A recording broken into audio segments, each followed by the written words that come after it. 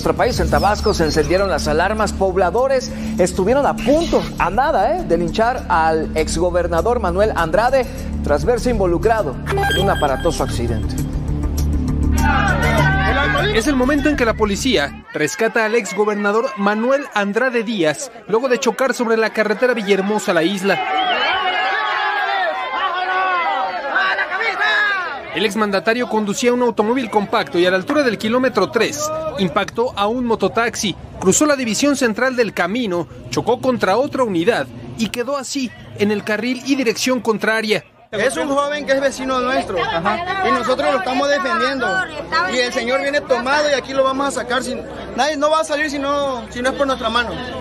Entonces, vieron quién es? Manuel Andrade. Durante más de media hora, la policía contuvo a un numeroso grupo de personas que quería obligar a bajar de su unidad al exgobernador, supuestamente para que se hiciera responsable. Vemos cómo la gente sigue insistiendo en que, en que en sacarlo y pues está ocasionando daños a la unidad, está golpeándolo. ¿Qué están pidiendo ahorita ustedes? Que venga la aseguradora para que se haga cargo de todo lo que hizo. Mira el pochi cómo lo dejó.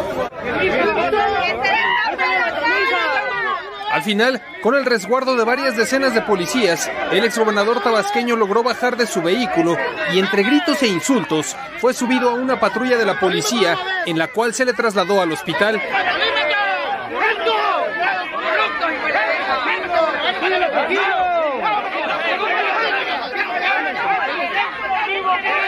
Empezaron a decir que venía yo tomado, que venía borracho, que venía pedo. Nada de eso. Venía yo bien.